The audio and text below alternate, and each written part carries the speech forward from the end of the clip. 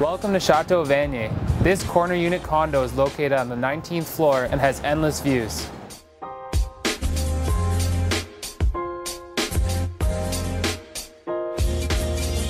With an updated kitchen, brand new flooring, and three bedrooms, this makes the ideal home or a great investment.